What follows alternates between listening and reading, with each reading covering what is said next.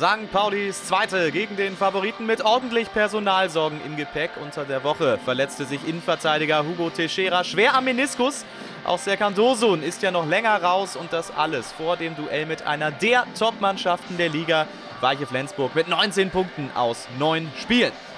Immerhin die Profis ja in der Länderspielpause, deswegen konnte Chefcoach Joachim Filipkowski auf Janis Wiekow, Sören Ahlers und Lars Ritzka zurückgreifen. Und der Start von St. Pauli in Braun-Weiß war jetzt auch nicht so verkehrt. Erste Minute, Lubongo, schönes Zuspiel auf Plautz, der ist durch und dann legt er ihn lässig mit dem Außenriss vorbei. 1-0.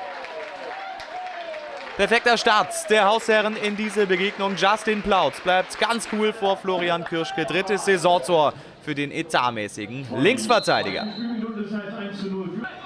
Und dieser Auftakt in die Partie gab Braun-Weiß viel Selbstbewusstsein. Ball lief recht ansehnlich. Niklas Natsch mit einer ganz feinen Annahme beim Abschluss.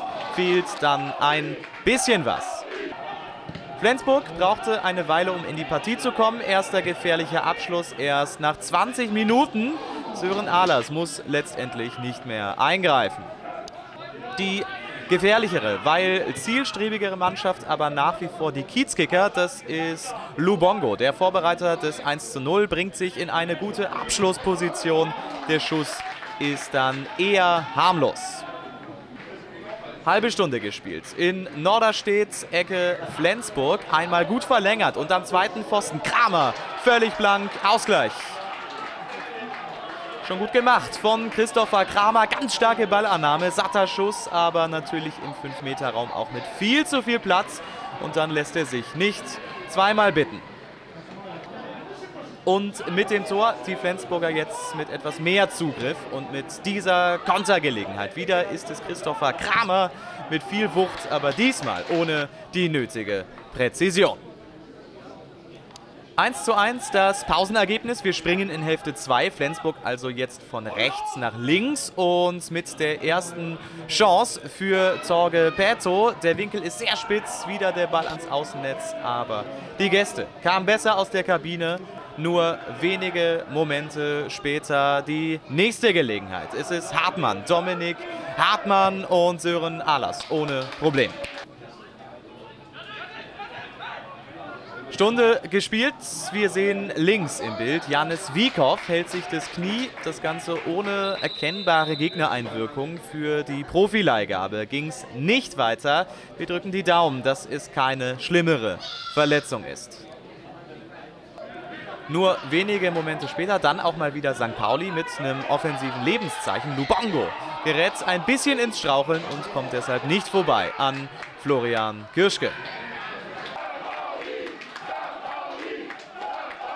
Gut 70 Minuten rum im Edmund Plambeck Stadion in Norderstedt und aufgepasst. Knifflige Szene.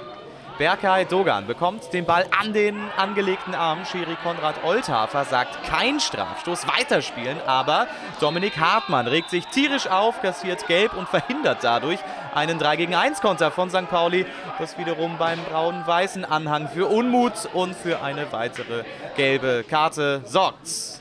Beide Mannschaften also höchst unzufrieden nach dieser Situation, gingen in der Folge weiter auf den Siegtreffer. Abschluss von Cornils ist relativ ungefährlich, aber Sören Ahlers sofort wieder mit dem Kopf oben schaut, wen kann ich anspielen und findet Jakob Bednacik.